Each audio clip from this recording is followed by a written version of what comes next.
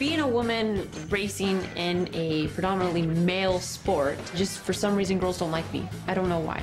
You know, 99% of my friends are guys. Getting dirty, talking some bullcrap, you know, just having a good time. Why are you using the men's bathroom? What's wrong with you? I do get jealous of her guy friends. I'm male. What, I mean, I kind of know how other males are. It's a chick's car, and she's actually gonna race eighth mile. Okay, maybe I should. she's alright.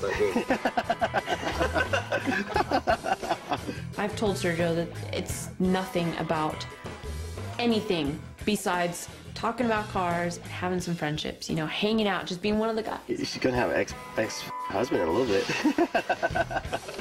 yeah, I can get your phone number if you want it. You know, we